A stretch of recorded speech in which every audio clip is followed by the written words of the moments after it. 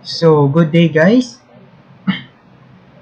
Um, our first topic in vibration engineering is the ideal gas of a perfect gas law. Like what I said in orientation, um, bago tayo mag-proceed sa mga vibrations na subject, which is bihira lang naman lumabas sa board exam, ay masterin muna natin yung um, thermodynamics, especially the ideal gas and all the all of the processes.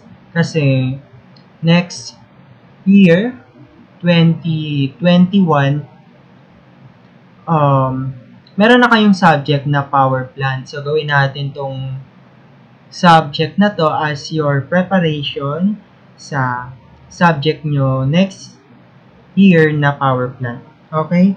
So, ituturo ko dito yung mga tricks and mga codes, mga constant, kung paano um, kung paano ma-derive yung mga formula at the same time kung paano ma-lesson yung mga formula na i-memorize natin. Okay?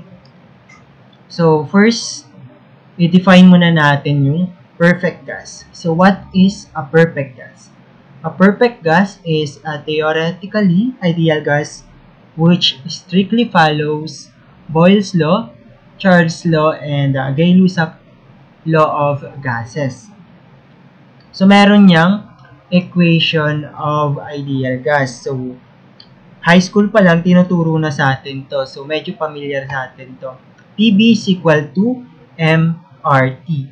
Or, kapag in terms of number of moles, ang gagamitin natin na formula is PB is equal to NR. R bar T.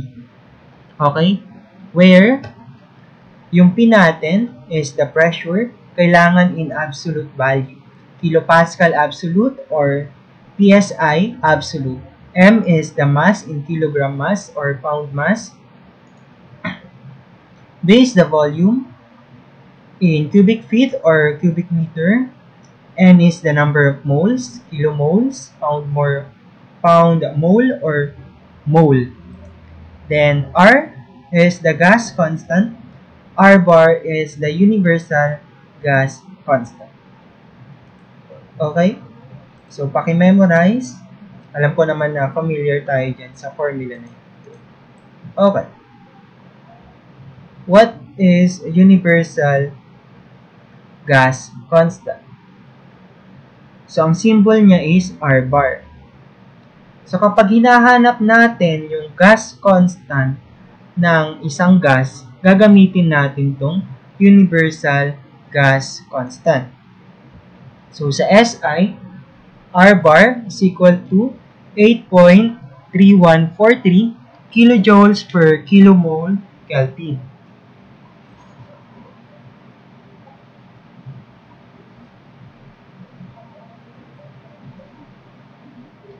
Okay? So, ang palatandaan namin dyan, nilagyan namin yan ng mnemonics. Um, kapag R bar ng SI, it's true, I love you. Diba? It's true, I love you. So, yan yung palatandaan namin sa universal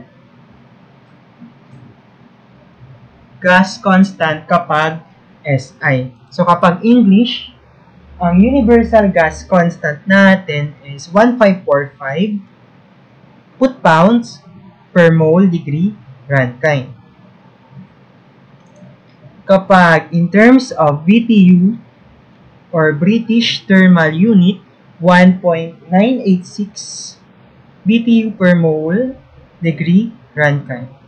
And kapag in terms of liters atmosphere, 0.0821 liters atmosphere per mole degree Rankine.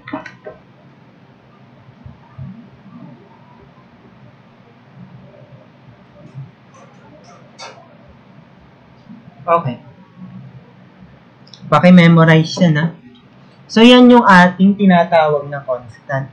So, para gumaling ka sa pag-solve ng mga problems sa thermo, machine design, kailangan tanda mo yung tatlong C or 3C na tinatawag namin. Kailangan magaling ka sa 3C. Ano ba yung C na yan? Oh my God. Hindi ko masulat. Yeah. Kailangan magaling ka sa tatlong C. Ano yung isang C? Kailangan magaling ka sa calculations or computations. Yan. Siyempre, yan yung pinakauna. Kailangan magaling ka sa calculations and computation. Ano po yung isang C? Kailangan magaling ka, magaling ka sa constant. So, kailangan lahat ng constant memorize mo. So, baliwala to, kahit gaano ka pa kagaling mag-compute, kung hindi mo naman memorize yung constant, hindi mo makukuha yung tamang sagot. At yung isang C naman, kailangan magaling ka sa conversions. Ito yung binigay ko nung unang lesson natin sa Thermo 2 or um, Thermo 1. Kailangan, kabisado nyo lahat ng conversions. Um, kabisado nyo at the same time, alam nyo kung paano gamitin.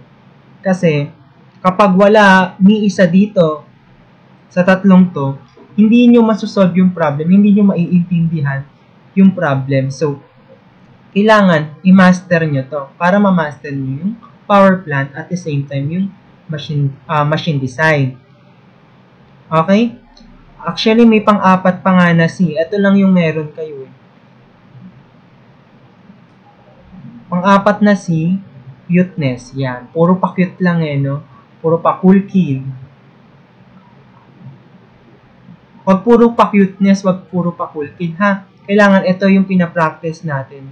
Calculations or computations constant, at conversion. So, kapag um, master na natin yung tatlong yan, maning-mani na lang yung power plant at machine design. So, tandaan nyo yan, ha? So, etong apat, paki-memorize to. Ha? So, yung ito, meron na tayo, meron kaming mnemonic, it's true, I love you. Etong tatlo, lagyan nyo para madali nyo siyang ma-memorize. Okay? So, next. So, gas constant R. So, kapag sinabi namang gas constant, meron tayong constant yan sa air. Yung R ng air kapag English is equal to 53.34 foot-pounds per pound degree Rankine. Kapag SI naman, 0.287 kilojoules per kilogram Kelvin. So, kailangan memorize nyo rin yan kasi laging lumalabas yan hindi lang sa thermo, pati sa power plant. So, paano makuha yung R pag hindi air yung given? So, meron tayong general formula na ginagamit. Gas constant or R is equal to R bar over the molecular weight. Okay? For example, we have um, hinahanap yung gas constant ng oxygen paano mo masosolve yan? So, gas constant ng oxygen is equal to, ano yung R bar natin? It's true, I love you. Um, kilojoules per kilomole degree Kelvin. Then, ano yung molecular weight ng oxygen natin? So, molecular weight is 32 kilo mole no, kilogram per kilomole.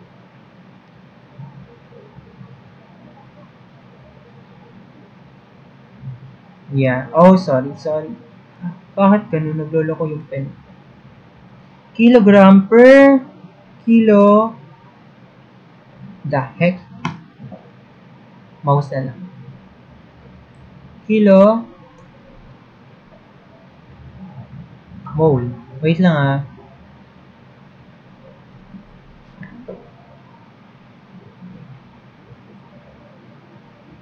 Yan. Kilogram per kilomole. So, makakancel yung kilomole natin. Yung R natin, pag nilagay natin yan sa calcu, 8.3143 divided 32. 0.2598 or 0.26. 0.26 ang natira kilojoules per kilogram Kelvin. Diba? So, ganon. So, kailangan memorize nyo yung, sabi ko nga yung R-bar kanina. Okay? Memorize nyo yung R-bar at the same time yung molecular weight. Yung molecular weight, itatakal natin mamaya kung ano ba yung kung paano ba makuha yan. Okay? So, tatandaan nyo yung R ng mga gases or yung gas constant ng mga gases is magkakalapit lang yan. Magkaka parehas lang. Almost hindi nagkakalayo ng value. Pansinin nyo sa air, 0.287. Sa oxygen, 0.26. Diba? Hindi yan nagkakalayo ng value. So, pakimemorize tong general formula, R is equal to R bar over the molecular weight. Yan yung MW. In terms of kilogram per kilomole or pound per mole. Okay? So, doon na tayo sa unang law of gas, which is the Boyle's law. So, P is equal to C. Ibig sabihin, temperature is equals is, is equals to constant. So, sabi dyan, in a confined gas, if the absolute temperature is held constant, andyan na yung keyword, absolute temperature is held constant, the volume is inversely proportional to the absolute pressure. Okay. So, ang general formula niya is P1V1 is equal to P2V2. So, paano na-derive yan? So, in um, lahat ng law, Boyle's law, Charles law, Gay-Lussac's law, isa lang yung pinanggalingan niya ng formula.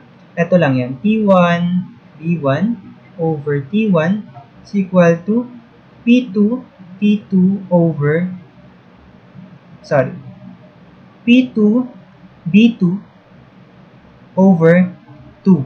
So, since sa Boyle's law, ang sabi, constant temperature, T1 is equal to T2. Diba? Is equal to T. So, makakancel lang to pag kinross multiply mo siya. So, matitira dyan, P1 D1 is equal to P2 D2.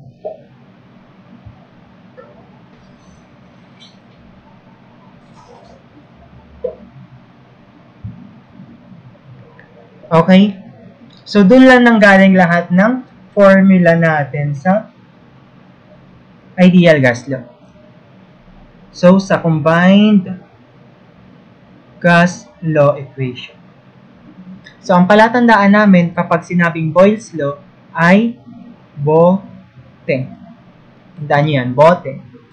Ano yung bo? Boils. Ano yung te? Temperature. Boyle's law, constant temperature.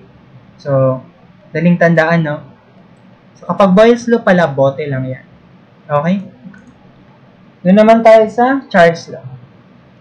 In a confined gas, if the absolute pressure is held constant, the volume is directly proportional to the absolute temperature. So kapag Charles law naman, pressure is held constant. So pressure naman yung constant natin. So ang general formula niya is B1 over T1 is equal to B2 over T2 So, sabi ko nga sa inyo, huwag nyo i-memorize yan. Nanggaling lang yan sa combined gas law. Which is P1, B1 over T1 is equal to P2, V2 over T2. So, since constant ang pressure, kapag nilagay mo to sa ilalim or kinross multiply mo, makakancel lang yan. Ang matitira, P1 over T1 is equal to P2 over T2. So, madali lang pala siya. No? Kapag tinanong sa board exam, if the absolute pressure is held constant, the volume is directly proportional to the uh, absolute temperature. What type of law is that? Um, alam mo na yung sagot. Charles law na yon. Ang palatandaan naman natin dyan is, or palatandaan namin, ka, pre. Ka, for Charles, pre or pressure. So, kapag ka pre pala, Charles law. Charles law, constant pressure. Okay, I hope nakakatulong yung mnemonics namin. Okay. Tinatanong yan sa board. Um, kalimitan, ay, um, identification or elements. Okay? So, last law naman sa perfect gas is Gay-Lussac. In a confined gas, if the volume is held constant, the absolute pressure is directly proportional to the absolute temperature. So, kapag Gay-Lussac naman pala, ang palatandaan lang dyan, volume is held constant. So, ang formula niya, P1 over T1 is equal to P2 over P2. So, wag niyo siyang i-memorize, nanggaling lang siya sa combined gas law na formula, which is P1V1 over T1, P2, V2 over T2. So, since volume is constant, makakancel lang yan kapag kinross multiply mo. Therefore, P1 over T1 is equal to P2 over T2. So, ganun lang pala yon. So, ang palatandaan naman namin dito sa Gay-Lussac is no balls. Alam niyo na yan kung bakit no balls. Ganito nga eh, no balls. Const bakit balls? Kasi constant volume. No balls kasi K lusa. So, ano nga ulit yung palatandaan natin? Bote, kapre, tsaka no balls. Bote, Boyle's law, constant temperature. Charles law, kapre. Charles law, constant pressure. No balls, constant volume. Gay, loose. Diba? So, hindi ka nag-memorize. So, ang ginawa mo, kumuha ka ng code which is mas madali. So, ito yung general gas law. So, dyan ang galing lahat ng formula natin. Each one of these states or each one of these law states how one quantity rises with one another if the third quantity remains unchanged. But if the three quantities change simultaneously, it is necessary to continue to combine this law in order to determine the final conditions of the gas. So, ito yung tinatawag na combined gas law. So, yun, dyan nang galing lahat ng formula sa Boyle's law, Charles law, and Gay-Lussac law. Okay? So, I hope nasundan. So, wala pa tayo minimemorize na formula. So, lahat yon coding lang pala. Madali lang pala siya, no? Madali lang pala kunin yung formula ng tatlong yon. So, okay na tayo dyan sa gas law. Dito na tayo sa relations between CP, CV, K, and R. Ano ba yan? So, sabi, R is equal to CP minus CV. K is equal to CP over CV. CP is equal to KR over K minus 1. And, yun na. Kulang pa yan. CV is equal to R over K minus 1. So, alam ko na daanan nyo to sa termo. So, paano ba natin to makakabisa or paano natin, paano ba yan na-derive? At saka ano ba mga ibig sabihin ng mga yan, mga symbol na yan? So, yung CP mo, ang tawag dyan specific heat at constant pressure. Kaya yan, P, CP. Yung C is specific heat, yung P is for the constant pressure. So, tatandaan nyo, CP is always greater than CV. CP is always greater than CB. Okay? CB naman is the specific heat at constant volume. Kaya siya CV kasi volume. K is the specific heat ratio. K is greater than 1 and R is the gas constant. Gaya nung kanina. So kung CP pala is greater than CV and yung K kailangan greater than 1, makukuha mo na yung isang formula. K equal to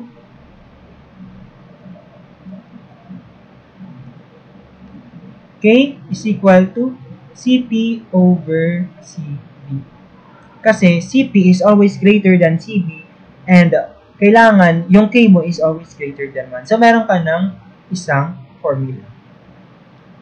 Saan nakuha? By analyzing the concept. Okay. Paano siya na-derive? So, nanggaling siya sa formula ng specific enthalpy. So, H, yan yung specific enthalpy. So, sabi natin sa termo, kapag maliit na letter, specific enthalpy kapag malaking letter, yan yung tinatawag na enthalpy. Okay? Specific enthalpy is equal to specific internal energy plus PB. Kasi, yung enthalpy, di ba, tinatawag natin yan na combination energy. Combination siya ng internal energy plus work non-flow or PB. So, since lahat yan maliliit na letter, yung PB natin, walang M. PB, di ba ang formula natin is PB is equal to MRT. So, since lahat yan is specific, ibig sabihin per kilogram mass. Kaya yung PB mo is equal to RT na lang. With um, lahat yan per kilogram mass. Okay? So, dito pala nang galing yan. So, enthalpy is equal to U plus PB and PB is equal to RT. So, yung PB, i-substitute natin yung RT. So, magiging enthalpy or specific enthalpy is equal to internal energy, specific internal energy plus RT. So, baka malito ha, yung PB natin, pinalitan lang natin siya ng RT. Direct sub. So, yan na ba natatapos yan? Hindi. I-derivative natin. So, para makuha natin yung derivative, lagyan natin ng symbol na P. So, derivative ng H is equal to derivative ng U plus R. Yung R, di ba, is the gas constant.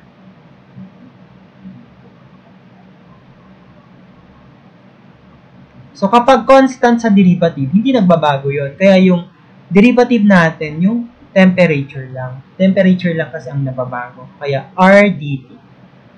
Okay? Where delta H is equal to mCp delta T. Di ba? Kapag enthalpy, mCp delta T. Kapag internal energy, mCp delta T. Kapag in terms of specific or walang mass, yung delta, di ba sa calculus, equal lang siya sa symbol na D. Parehas lang yan, di ba? Kasi um, rate of change parehas. Yan. So, yung delta natin dito, ginawa nating symbol D. So, DH is equal to, since specific to, wala tayong mass, CP dt. Yung delta, ginawa lang din nating um, D. Same with the internal energy. So, since per unit mass to, gagawin natin maliit na letter U, which is du is equal to, wala nang mass, CV delta T or dt. Okay, meron na tayong value ng dH. Substitute natin dito. Meron na tayong value ng du. Substitute natin dito. Kapag sinubstitute natin, yan yung lalabas.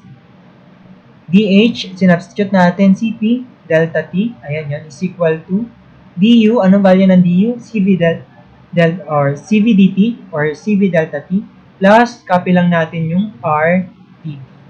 So since lahat yan merong dt, i-multiply natin sa 1 over dt. So cancel yan, cancel, cancel, and cancel. Ano matitira? CP is equal to CB plus R. Okay? So, dyan pala nang galing yung formula na R is equal to CP minus CV. Yan yung kaninang formula. So, ganun lang pala yon yung derivation, no? Galing lang pala siya sa enthalpy at sa PB, M, RT. Okay, meron ka ng formula 2. Okay? Kanina, K is equal to CP over CB. Kaya nasa taas yung CP kasi K must always be greater than 1 and CP is always greater than C. So from that concept, nakakuha ka ng dalawang formula.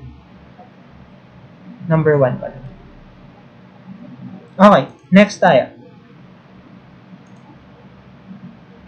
So paano naman na-derive yung formula ng CV? Paano ba yon? So, meron tayong K is equal to Cp over Cv. Then, kanina, di ba, R is equal to Cp minus Cv. I-write natin to in terms of Cp. So, lipat natin sa kabila. Cp is equal to R plus Cv. Then, ito, i-substitute natin dito sa Cp. Kaya siya, Cv plus R, copy natin yung Cv. Okay? Then, ipaghiwalayin natin to. So, magiging K is equal to Cv over Cv plus R over Cv. So, ilan to? 1. So, magiging kasunod niya na equation, 1 plus R over Cv. Okay, tapos na ba yan? Hindi. Ang hinahanap natin yung value ng Cv. So, ilipat natin itong 1. Magiging K minus 1, copy lang natin yung R over Cv. Then, ipag-cross multiply natin. Cross multiply. So, ito, mapupunta dito. Yung K minus 1, mapupunta sa ilalim. Yan. Cross multiply, yung Cv yung pupunta dyan. Yung K minus 1, mapupunta dyan. So, ano yung mabubuo nating formula? Cv is equal to R over K minus 1. So, meron ka ng formula number 3. Actually, pag nakuha mo na yung tatlo, madali na lang makuha yung CP. Pero i-derive pa rin natin. Okay. So, last na formula, kunin natin yung formula ng CP. So, galing pa rin yan sa K is equal to CP over CV. Okay? So, this time naman, i-write natin yung CB in terms of CP. Di ba? Ng formula number 2, R is equal to CP minus CV. Okay? I-write natin in terms of CV, lipat natin sa kabila, so magiging CV is equal to CP minus R. Si positive to, nilipat mo magiging negative. So, dyan ang galing yan. So, itong CB na to, pinalitan lang natin siya ng value na CP minus R. So, therefore, CP copy, ito, pinalitan ng CP minus R. Yan na ba natatapos? Hindi pa. Cross, multiply natin. Yan. Lagyan mo siya ng parenthesis. So, K times CP, KCP, K times negative R, negative KR is equal to C. Yan na ba natatapos? Hindi pa. Ipag-lipat-lipat natin yung equation. So, ito, kapag nilipat dito, magiging minus. Ito, pag nilipat dito, magiging positive. Yan. Lipat natin yung dalawang yan. Therefore, K, copy mo lang, CP nilipat mo, so naging negative CP, ito, nilipat mo, magiging positive KR. Meron common factor? Meron. So, ilabas natin. So, nilabas natin yung common factor na CP, ano natira? K minus 1 is equal to KR. Therefore, makukuha natin yung value ng CP, i-cross multiply lang natin. Lagay natin to sa ilalim. CP is equal to KR over K minus 1. So, yan na yung formula number 4. So, by concept, kahit hindi ka mag-memorize ng formula, alam mo siya kung paano i-derive. Kasi, hindi hindi sa lahat ng oras, hindi sa lahat ng oras memorize mo yung formula. Kumbaga, parang ito yung magiging lifesaver mo. For example, minsan di ba nararanasan natin yung mental block sa exam. Kahit minemorize nung sa bahay, memorize na memorize mo yung formula, pero pagdating sa school, na mental block ka, eh, ano, paano yung ginawa mo? Minemorize mo lang, hindi mo alam yung concept. So, hindi mo maaalala yon Unless dito, kahit malimutan mo yung minemorize mo sa bahay, di ba, pang, or nalimutan mo yung malimutan mo yung minemorize mo na formula review, alam mo yung concept, di ba? Alam mo yung concept kung paano siya kunin, masosolve mo yung problem. So, that's the important kung bakit kailangan, alam natin yung derivation ng mga formula through concepts. Para whatever happens, meron tayong bala. Yun yung bala na tinatawag sa fortips. Okay? Okay, next up tayo. So, paano naman na-derive yung enthalpy? Alam natin, enthalpy is a combination energy. Enthalpy is equal to internal energy plus PV or work non-flow. Okay? Anong value ng U? mCp delta T. Anong value ng PP? is equal to MRT or MR delta T. Okay. Then, answer na gagawin natin? Palitan natin tong R. So, from the formula kanina, R is equal to CP minus C. Laging minus yan kasi CP ang pinakamalaki sa tatlo. Okay? Palitan natin yung R ng CP minus C. Yan. Copy, copy, copy yung M. R, palitan natin ng CP minus CP delta T. Okay.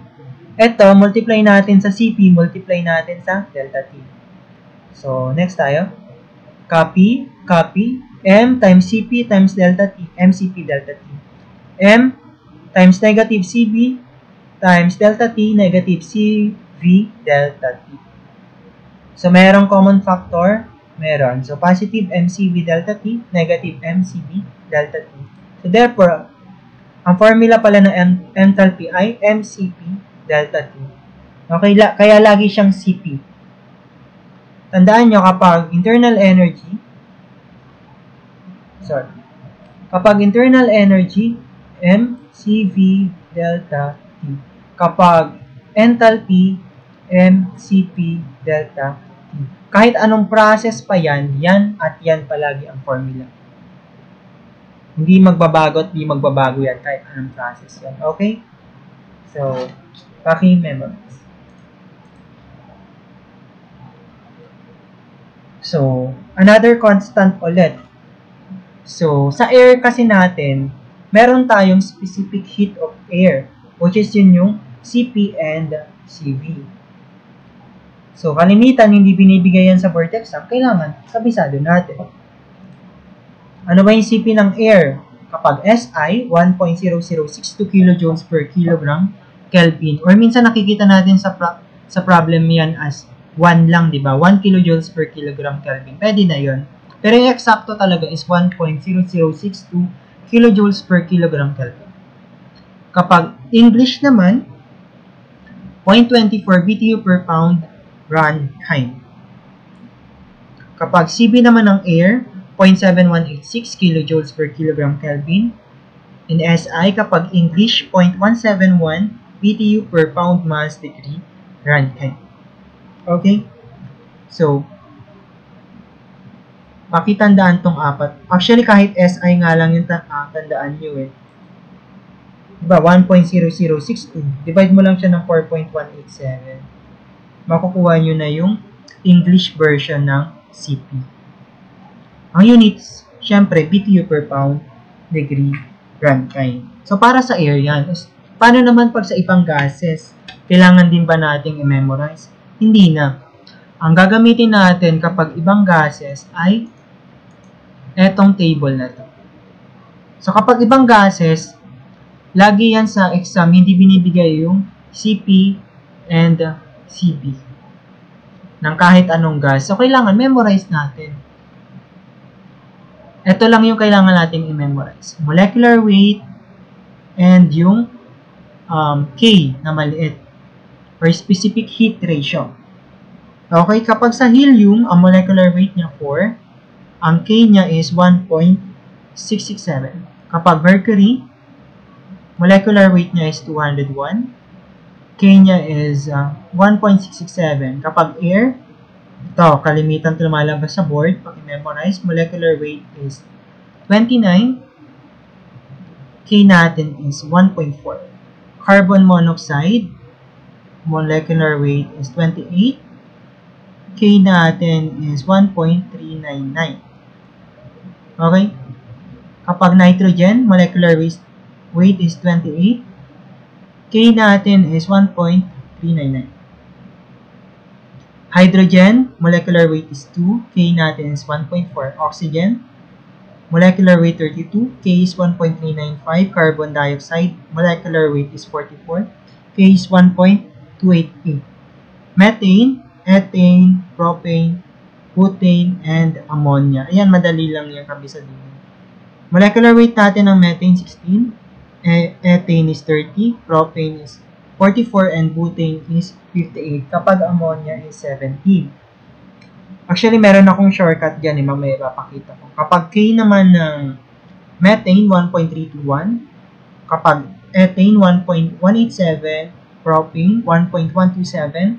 Butane is 1.093 and ammonia is 1.304. Yung ammonia ginagamit yan sa um, refrigeration.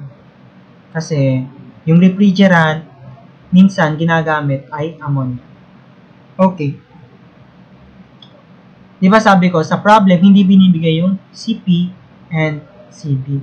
So, makukuha mo yung CP and CP of a certain gases kapag mem- memorize mo yung molecular weight at the same time yung um, specific heat ratio or small letter k ng gases. For example, um, wag na air. For example, sa nitrogen, ayan, pinapahanap yung CP ng nitrogen. Ano bang formula ng CP? Tandaan niyo pa ba? CP is equal to K R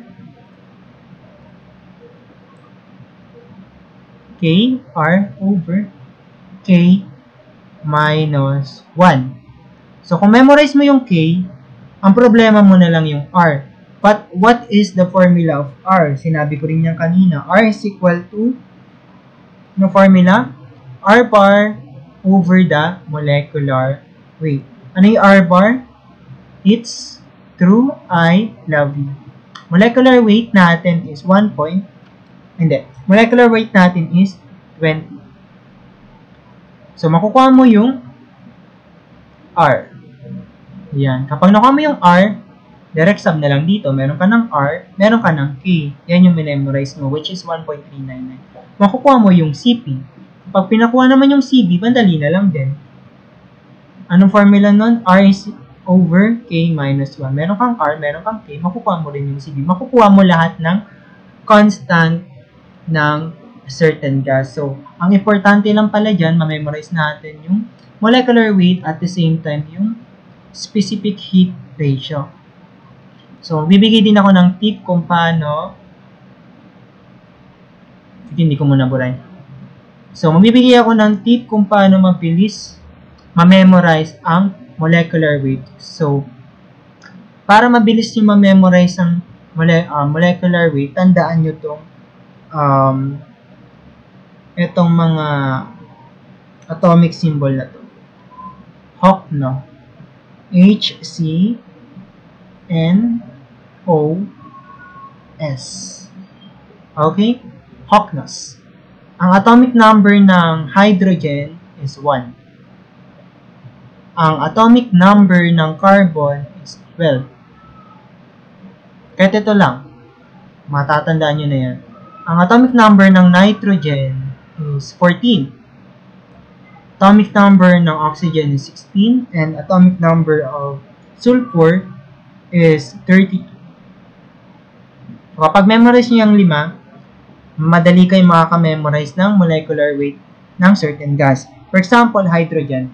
Hydrogen is always a diatomic atom. So, kailangan, kapag sinulat mo yung hydrogen, may 2 sa ilalim kasi diatomic ano siya, element. Ilan yung atomic number niya? 2. Therefore, yung molecular weight niya, 2 times 1, 2. Okay? Same with oxygen.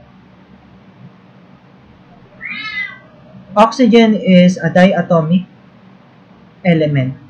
So, kailangan susulat mo siya, may 2 lagi. So, ano yung atomic number niya? 16. Ilan yan? Dalawa, so 32. Kaya 32 yung kanyang molecular weight. Same with, um, paano naman to? Carbon monoxide. Carbon, isang carbon, mono means isa, isang oxide din. So, C1, 01. Okay? Ano yung C mo? 12.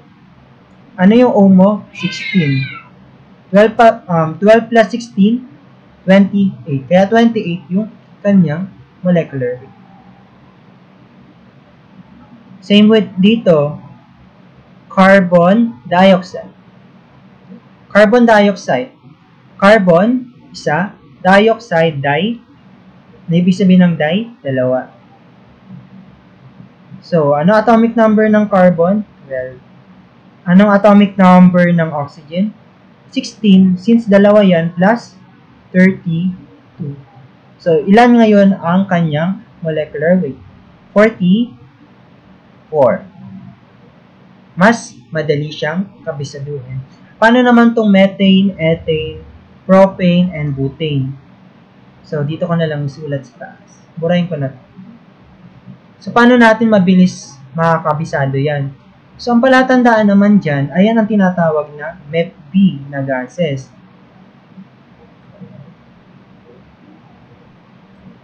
So, MEP-B yan. MEP MEP-B. Methane, ethane, propane, and butane. So, lahat yan, merong C, carbon, at merong hydrogen. So, lahat yan merong carbon at hydrogen. So, yung first C mo, di ba, MEP-B. Kailangan naka-arrange siya ng ganyan na, MEP-B. Yung first C mo, 1 yan. Second, 2, 3, 4. Para sa H naman, nagsisimula yan sa 4, then 6, 8, 10. Ba? Parehas ba? Parehas na? Parehas. Okay. So, since alam mo na yung chemical formula niya, makukuha mo na yung molecular weight. So, so para sa M, ilan yung carbon mo? 12. Okay? Kasi C1, 1 lang yan. So, 12. Ilan na hydrogen mo? 4 times 1 plus 4. Kaya pala, ang molecular weight niya ay 16. Sa ethane naman tayo. Ilan yung carbon mo? 2 times 12, 24. Plus, ilan yung hydrogen mo?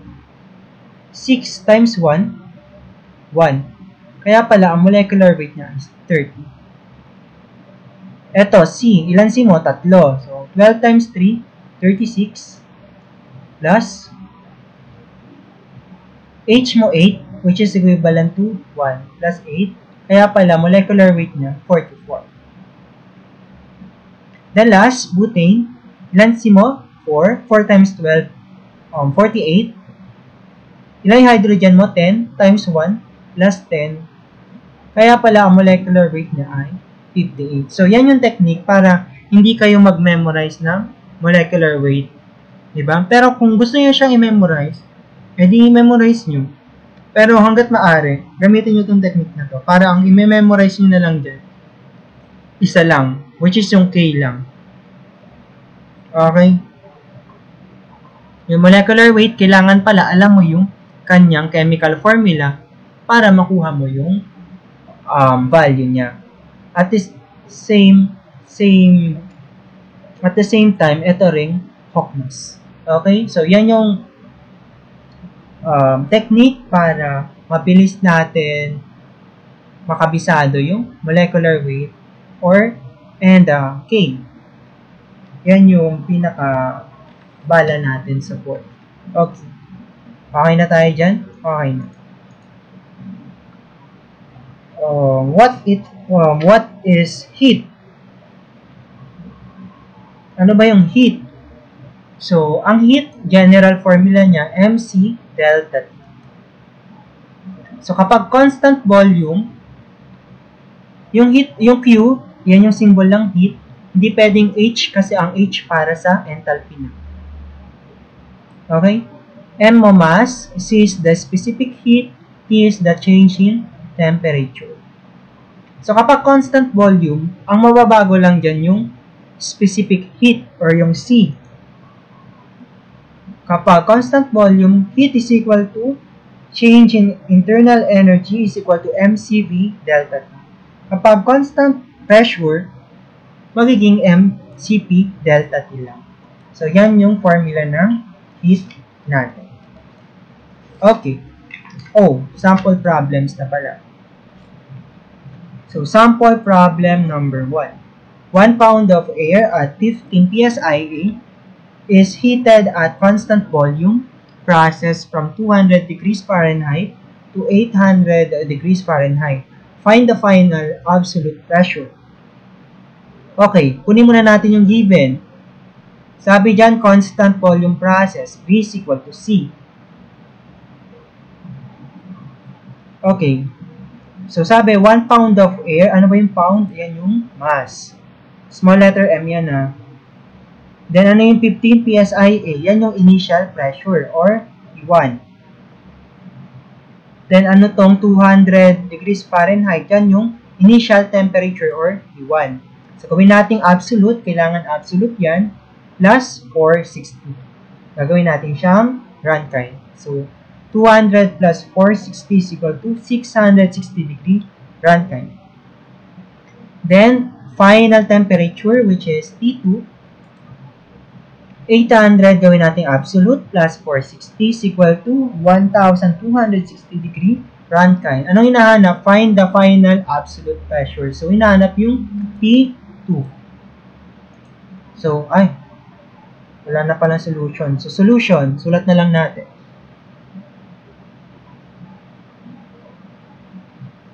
So, inahanap pala P2. So, paano natin makukuha si P2? Gamitin natin si um, ideal gas law. Ano ba yung ideal gas law?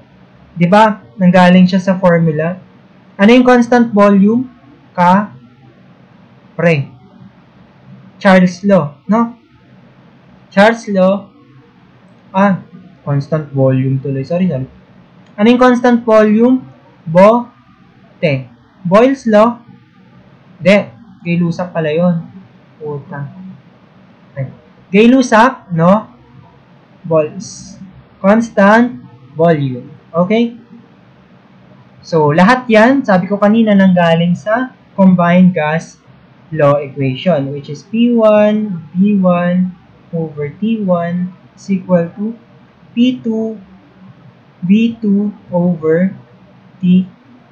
Constant volume, makakancel yung volume natin. Therefore, ang formula natin ay P1 over T1 is equal to P2 over T2. Check natin yung given. Okay. Meron tayong P1? Meron. Ito. Meron tayong T1? Meron tayong T2? So, direct sub lang pala siya, no? Makukuha natin yung value ng P2. So, i-cross multiply natin. P2 is equal to P1 over T1 times cross multiply T2. Anong value ng P1 natin? 15 PSI absolute. Anong value ng T1 natin? 660 degree Rankine. Anong value ng T2 natin? 1,000 260 degree Rankine. So, cancel yung Rankine, matitira PSIA. Therefore, P2 natin is equal to ilan? 28.636 PSI absolute. Yan na pala yung sagot natin. Madali lang pala siya, no? Kala natin mahirap yung problem eh. Madali lang. Basta alam mo yung concept. Kahit hindi ka mag-memorize ng formula. Okay? Number 2. Number 2.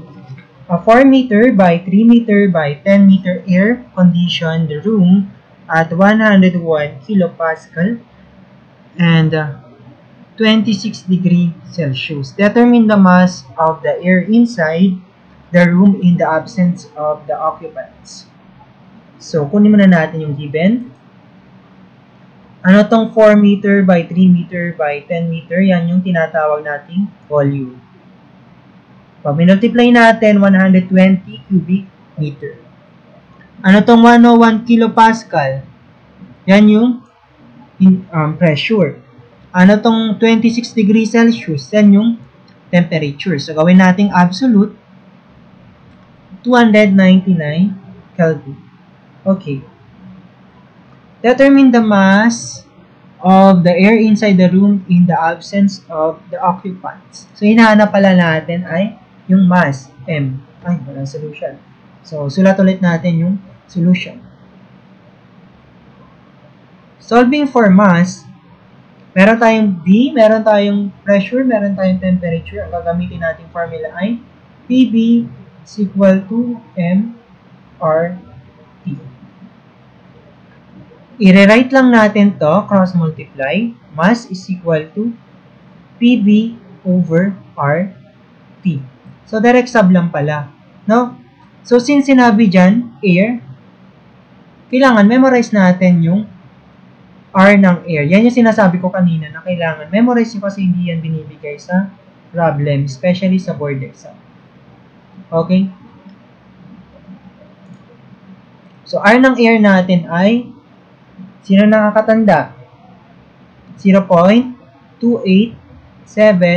kilojoules per kilogram Kelvin.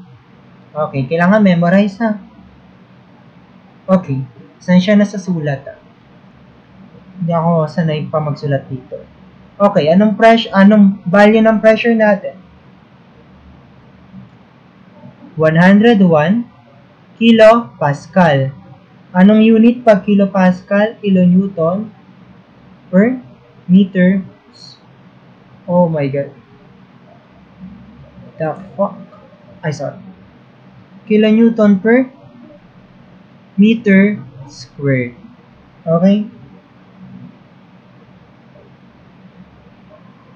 Ano pa? Ano yung V natin? 120 cubic. The heck 120 try ko nga sa mouse. Cubic meter. Okay. Ano yung R natin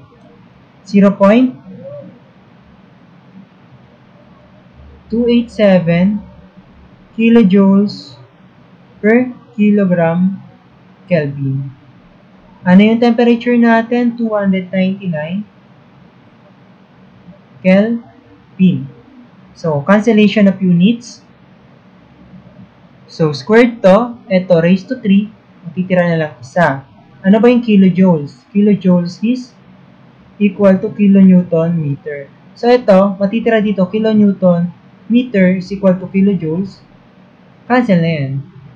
Then, cancel yung Kelvin. So, kapag in-input natin sa calcu, ang lalabas na mass ay 141.237 kilogram. So, yan pala yung kailangan na mass ng air inside a 120 cubic meter room. Okay? Okay. Next. So, ito, difficult problem. Oh my god. A drum 6 inch in diameter and 40 inch long contained acetylene at 250 psi and 90 degrees Fahrenheit. So after some of the acetylene was used, the pressure was 200 psia and the temperature is 85 degrees Fahrenheit. What proportion of the acetylene was used? Then B, what volume would the used acetylene occupy at 14.7 psia and 80 degrees Fahrenheit? So, meron ka daw palang drum. So, yung drum na yon 6 inch and 40 inch long. So, initially, merong laman yung drum na acetylene. So, meron din siyang pressure na 250 psia and 90 degrees Fahrenheit. So, okay na yan. Yan yung condition 1 natin.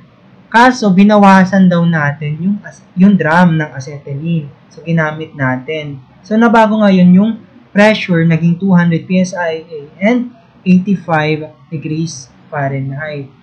So, ang tanong dyan, what proportion of acetylene was used? Kapag sinabing proportion, percent, ilang percent daw ng acetylene yung ginamit. At the same time, ilang volume ng acetylene ang kailangan para ma-occupy natin ang drum na merong 14.7 psi and 80 degrees Fahrenheit. Okay, kunin natin given. So, kapag sinabing drum, automatic constant volume yon Kasi hindi naman nagbabago volume ng drum, di ba? So, V1 natin is equal to V2. Okay? Kahit nabawasan pa ng laman yan, hindi pa rin magbabago yung volume ng drum. Ang nabawas, anong nabawas? yung mass nung acetylene. Okay tayo doon? So, volume is equal to constant kasi drum yan. Okay. Meron tayong diameter, 6 inch. Meron tayong height, which is 40 inch. Ano tong 250 PSIA? Yan yung initial condition. Yan yung P1, ito yung T1. So, P1, naka-absolute naman. T1, gawin nating absolute. So, plus 460 is equal to 550 degree Rankine. So, nung ginamit na, yan na yung condition 2 natin. So, condition 2 natin, nung ginamit, naging 200 PSIA na yung pressure niya, temperature niya naging 85. So, gawin natin absolute, magiging 545 degree Rankine. Anong tinatanong? Ay, binigay din pala yung R, no? So, swerte natin kasi binigay yung R ng acetylene. R daw ng acetylene is equal to 59.35 foot-pounds per pound mass degree Rankine. So, anong tinatanong? Percent nung acetylene, percent mass nung acetylene na ginamit at same time yung volume 3 na mag-occupy ng 14.7 and 80 degrees Fahrenheit acetylene. So, solution. So, ito yung condition natin. So, at condition 1, ito yung drum natin, di pa nababawasan. P1 and T1. Ito yung mass 1. Hindi sinabi yung mass. Initial mass natin, so consider natin as variable mass 1. So, sa condition 2, binawasan siya. So, ito yung binawas, M3. Yung binawasan siya, yung pressure niya naging 200 PSIA, ang temperature naging 85 degrees Fahrenheit na lang. So, magle-let tayo dito. So, nawawala yung M1, nawawala yung M2, nawawala yung M3. So, 3 equations, 3 unknown. So, let M1 natin, mass ng acetylene initially. Yung initial na laman ng drum, ay yung M1. M2 natin, mass of acetylene left in the drum. Sabihin yung naiwan sa drum natin. M3 mass of acetylene used. Yan yung acetylene na ginamit mo. Okay? Okay. So, hindi ko tinanggal yung tanong and in para masolve natin. So, since constant volume yan, kunin natin yung volume. Ano bang volume ng cylinder? Volume ng cylinder is equal to area ng base times height. Okay? Ano bang area ng base mo? Ano bang base mo? Bilog. Diba? Ano bang area ng base pag bilog? Pi r squared times height. So, ganyan pala natin makukuha yung B1 is equal to B2 is equal to volume ng drum or ng cylinder. So, kaya yan ganyan. B1 is equal to B2 is equal to pi r squared h. So, para hindi na tayo mag-convert ng radius to diameter, gamitin natin tong formula ng circle in terms of diameter. Pi over 4 d squared h. So, direct sub lang pala siya. Copy mo yung pi over 4. So, kailangan yung units natin ng volume in terms of feet. So, ang given kasi natin, 6 inches. So, convert natin sa feet. Divide natin by 12. Then, raised to 2. Kasi d squared. Magiging feet squared na yan. Then, same with the height. Convert natin into feet. Kaya, divide natin by 12. Kasi 1 feet is equal to 12 inches. So, magiging feet na yan. So, compute natin sa calculator, ang lalabas na volume mo ay 0.6545 cubic feet. So, meron ka ng volume 1 is equal to volume 2 na 0.6545. So, may nakuha ka ng value ng volume. Pero, ang kailangan natin ay yung mass 1, sorry, mass 1, mass 2, and mass 3. Paano natin makukuha yan? Gagamit tayo ng formula ng general equation of a gas. Ano yon? PB is equal to MRT. Yan ang pinakamagandang formula na magagamit natin. Hindi lang sa thermo, pati sa power plant. Okay? PB is equal to MRT. Okay. So, in terms of initial or 1, M1, ito kinross multiply lang natin ha. Kaya M is equal to PB over RT. M1 is equal to P1, B1 over RT1. M2 is equal to P2, B2 over RT2. So, makukuha ba natin yung M1? Check natin. Meron tayong P1? Meron. Meron tayong B1? Ayan, nakuha na natin. R. Meron. Binigay oh. R ng acetylene. Meron tayong temperature 1? Meron. So, makukuha natin yung mass 1 pala. Okay, hindi na pala yung problema. Mass 2 makukuha natin. Check natin. Meron tayong P2? 200. V2, kakakuha lang. R, given yan, acetylene. Temperature 2, given. So, makukuha pala natin yung mass 1 and mass 2. So, direct sub lang for M1, P1, which is 250. Ayan yan. Pound force per inch squared. So, kailangan yung inch squared natin, kasi PSI, di ba? Kaya siya pound per inch squared. Pound per inch squared. Yan yung ibig sabihin ng PSI. So, yung inch squared natin, convert natin into feet squared. Paano ma-convert yon? 144 inch squared is equal to 144 feet squared. So, dyan ang galing yun. Conversion lang tong 144. Then, yung B1 natin, 0.6545 feet squared. Then, yung R natin, 59.35 foot-pounds per pound mass degree Rankine. T1 natin is 550 degree Rankine. So, mag-cancellation tayo ng units. Pound force, pound force, inch squared, inch squared, feet squared, feet squared, uh, cubic feet pala to, so may matitira pang isa. Pound, uh, Rankine, Rankine. Then, may natira pa ditong isang feet, di ba? Cancel to dito sa ilalim. Kasi volume to, di ba? Cubic feet. So, yung dalawa, kinancel mo dito, ayan, natirang isa, yung isa, i-cancel mo dito. Okay, so matitirang unit na lang is pound mass. So, ang sagot dyan ay 0.7218 pound mass. Same procedure sa M2. Direct sub lang. 200 PSIA, given yan. Convert natin sa feet squared, kaya pinultiply sa 144. 0.6545, yan yun. B1 is equal to B2. R equal naman. Yung T2 natin, 545, ayan yun. Direct sub lang. So, cancel. Inch squared, cancel. Feet squared, may matitirang isa dyan. Um, Rankine, cancel. Cancel yung 1. Cancel yung feet. So, pound mass na lang ulit yung matitira, which is equal to 0.5828. So, nakuha na natin yung M1, nakuha na natin si M2. Madali na lang makuha si M3 based dun sa figure natin. Diba? Yan yung M3. Yan yung ginamit. So, kunin natin ngayon si M3. Paano makuha si M3?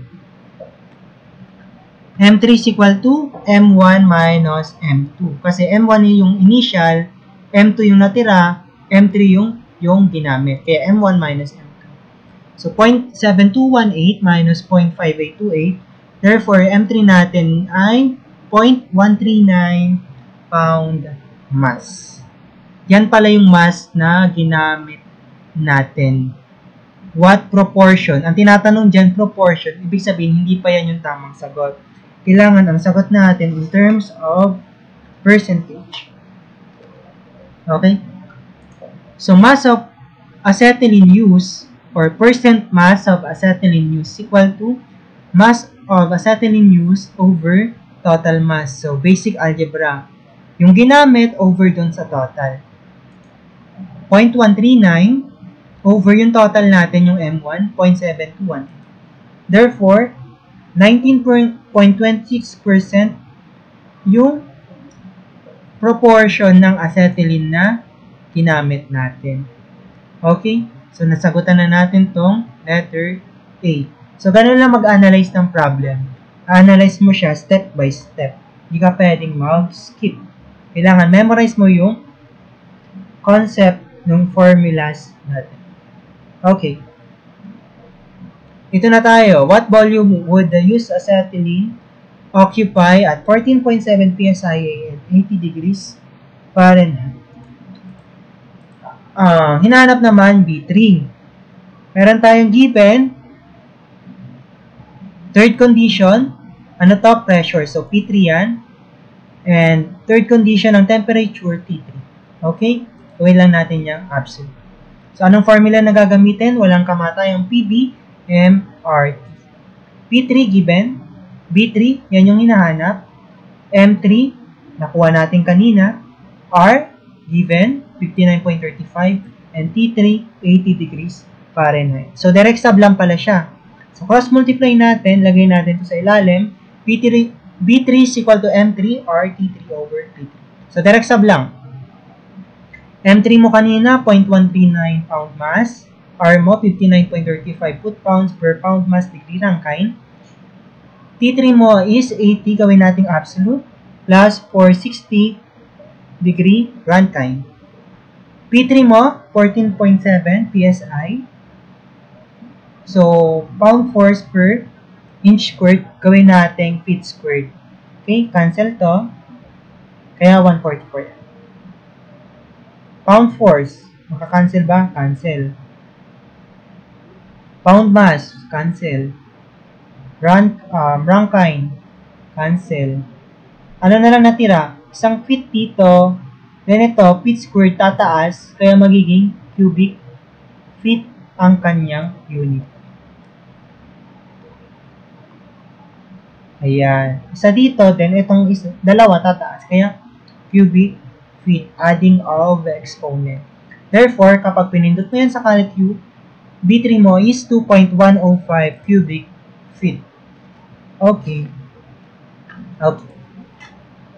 Here, yan ay isang difficult problem. So, kailangan mo ng analyzation at the same time, kailangan master mo yung concept. So, yan ang sinasabi ko sa inyo. Kailangan master natin ang concept ng thermodynamics para manina lang sa atin yung power plant. Ito, pag unang tingin mo sa problem na yan, mahirap. Pero it's all, up, it's all about concept lang pala. Okay. Number four. An air bubble rises from the bottom of a well where the temperature is 25 degrees Celsius to the surface where the temperature is 27 degrees Celsius.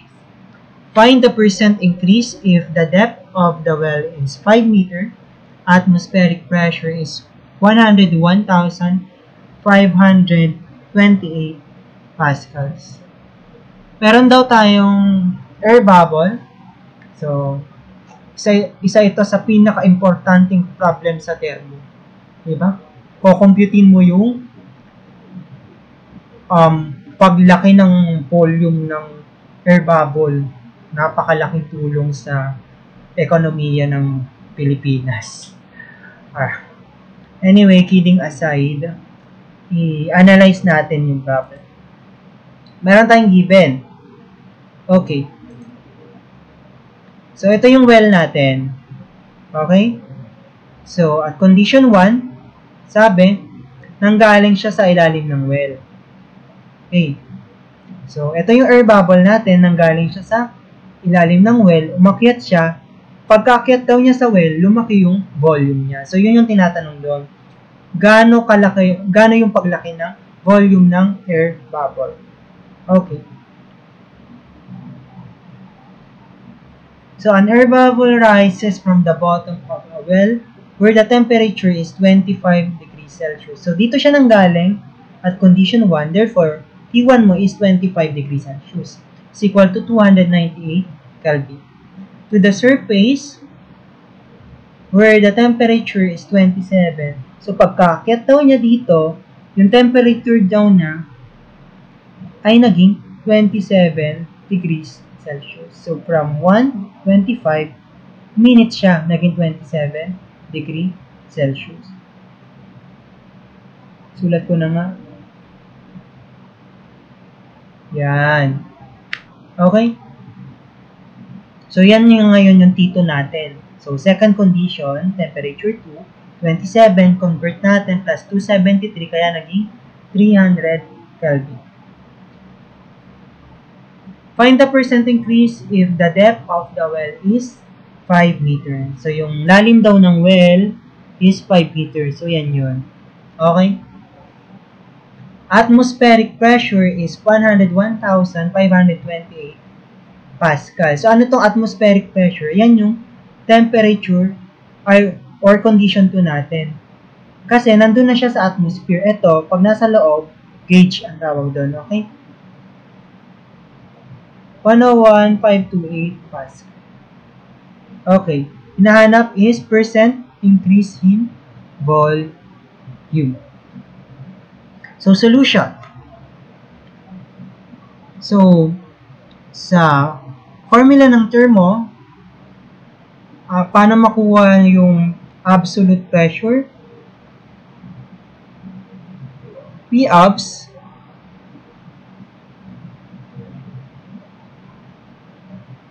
is equal to P atmosphere plus P gauge. Okay? Etong sa ilalim, pressure gauge yan. So, meron pa tayong ibang formula ng pressure gauge. P abs is equal to P atmosphere. Dito na lang siguro, no? P atmosphere, yan yung constant plus, anong formula ng P gauge? Gamma H. So, meron tayong H, which is 5 meter. Yung gamma ng water is ilan? 9.81 kilonewton per cubic meter. So, dyan ang galing yung 9.81. P atmosphere dapat yan, hindi yan P ups. Okay? So, masasolve natin yung pressure at condition 1.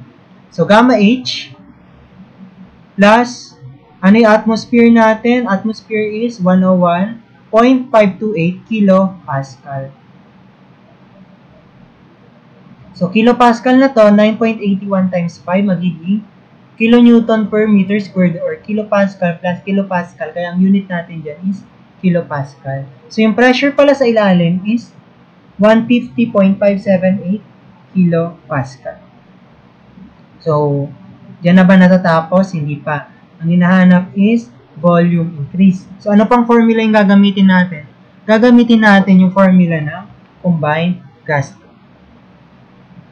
ano nga ulit formula nun? T1B1 over T1 is equal to P2B2 over T2.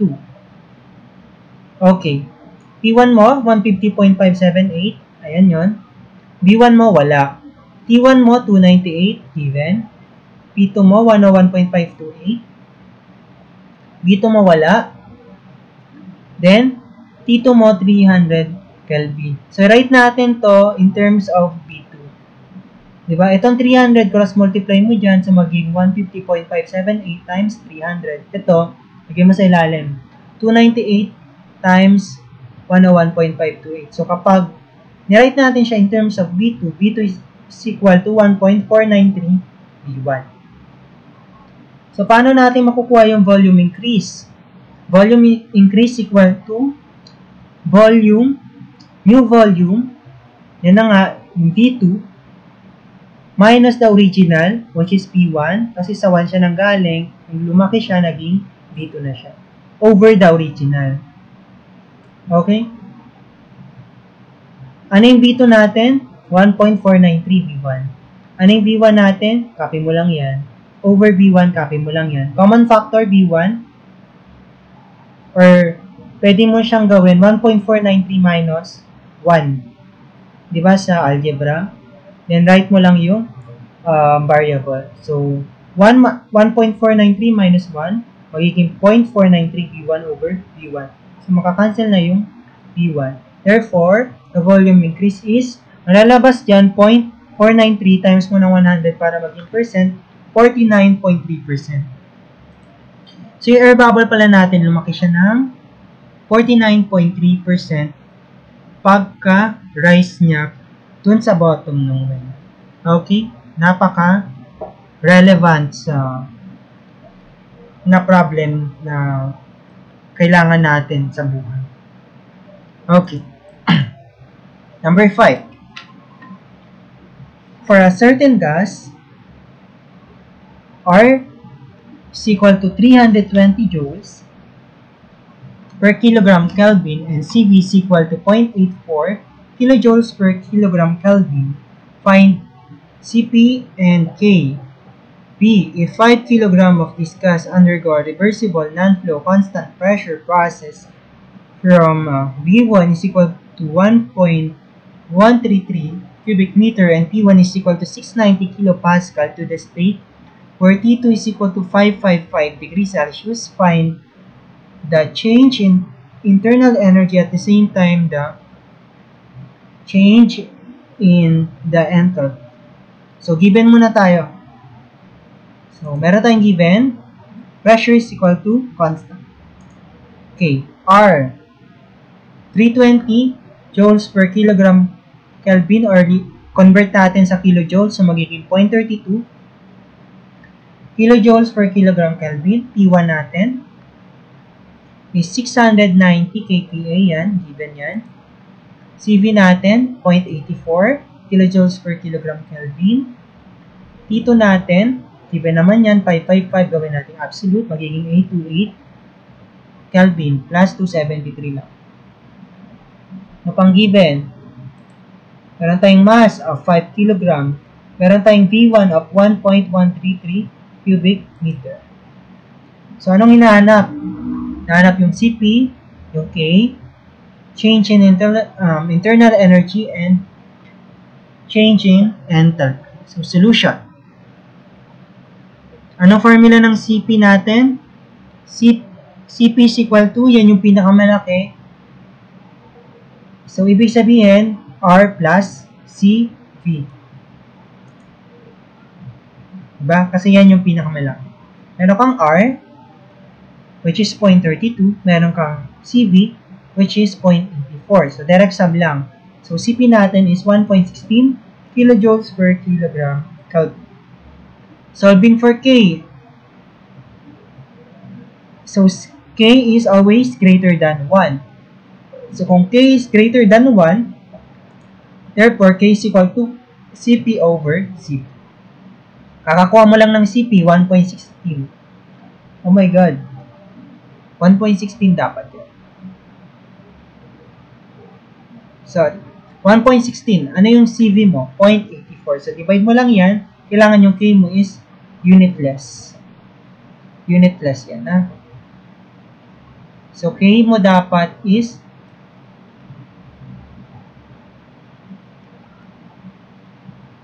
one point three eight one unitless lagi yan. Kasi na-cancel yung sa taas, na-cancel yung sa baba. Okay.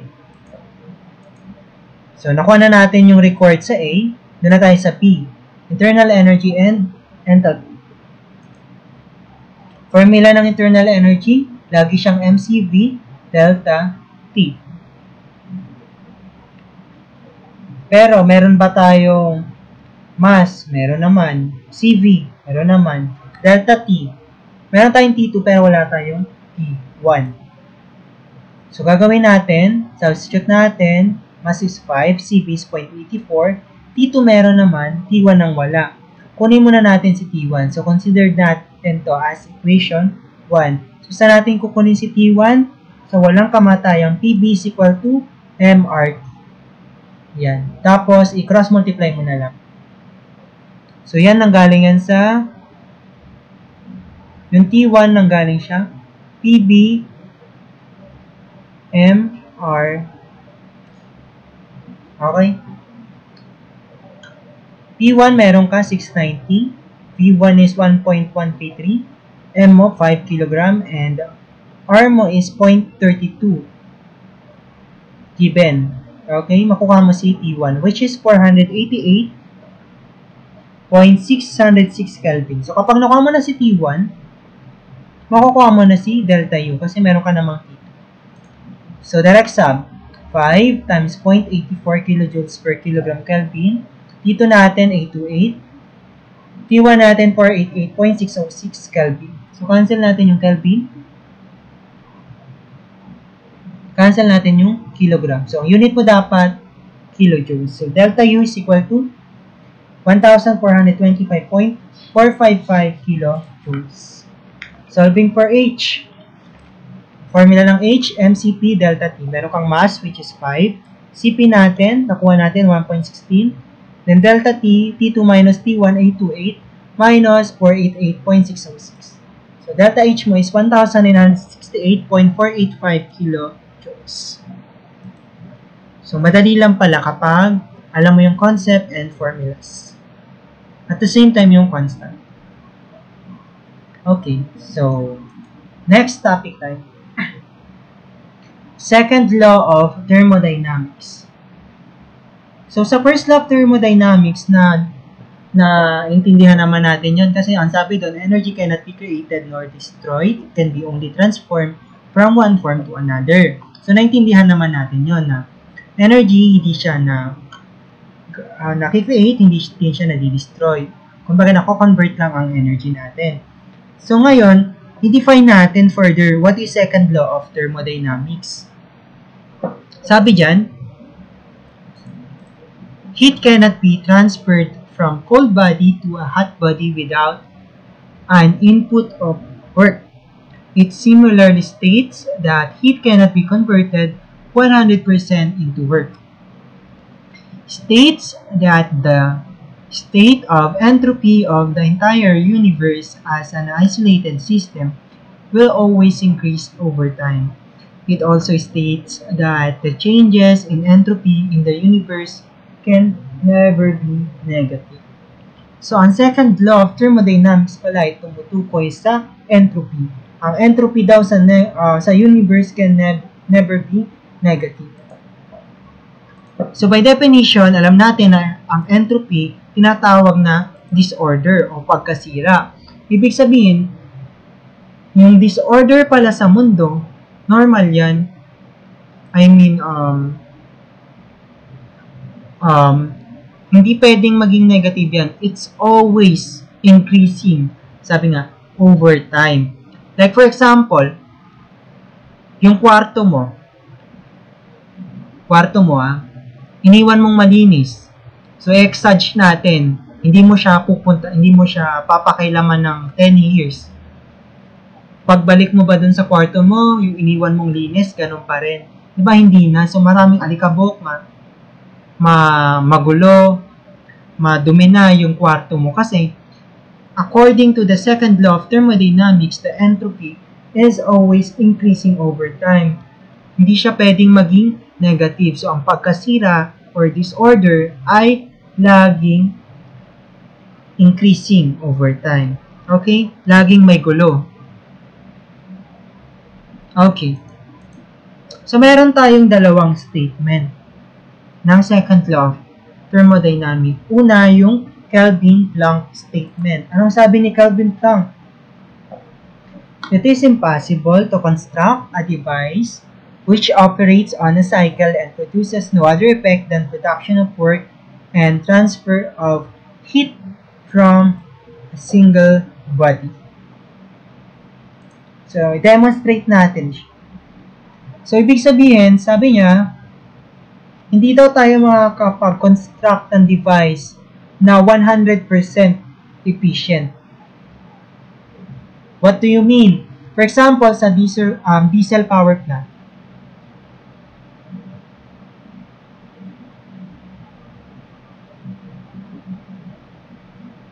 So, sa diesel power plant, sa planta tayo, pag-usapan natin yung planta.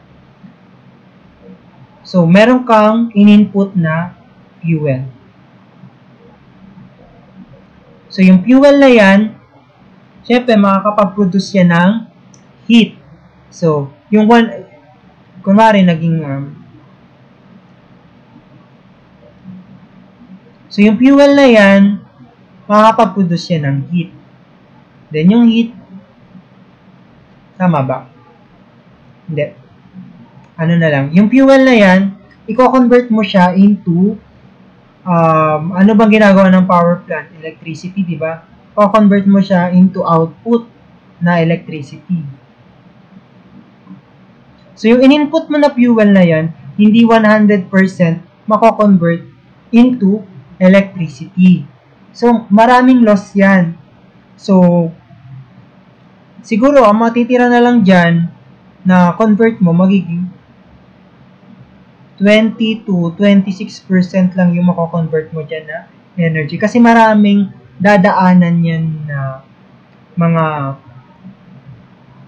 na process which is doon nagkakaroon ng loss. Right? So, yan yung ibig sabihin ng Kelvin Planck statement. So, yung in-input mo na work, hindi 100% mako-convert into electricity. So, 20 to 26% lang ang mako-convert niyan into electricity. So, hindi siya 100%. Walang 100% na efficient, uh, efficient na machine. Okay? So, yan lang yung ibig sabihin niya. So, from a hot reservoir to heat to work net. Walang ganyan. Walang galing sa hot reservoir na makakonvert sa heat na work agad. Marami pang process na dadaanan yan. Okay? So, yun yung Kelvin Planck state. Kapag Clausius statement, it is impossible to construct a device which operate on cycle and whose sole effect is the transfer of heat from a cooler body to a hotter body. So, ito naman, yung statement naman niya, walang device na galing sa hot reservoir, mapupunta sa cold reservoir, na ganyan lang ang process. So, maraming dadaanan yan na process. Hindi lang, hindi pwedeng makakreate ka ng ganyang device. So, walang ganyang device. For example, yung aircon natin. Okay? Si aircon. Siyempre, paano ba na paano ba ang process ng aircon? Manggagaling muna yan sa compressor. Pangit ang compressor. After ng compressor, pupunta yan sa condenser. After ng condenser, pupunta sa heat exchanger. Okay, after ng heat exchanger, pupunta yan ng evaporator. Then, pupunta ulit yan ng compressor. Hindi pwedeng evaporator, tapos condenser. Diba?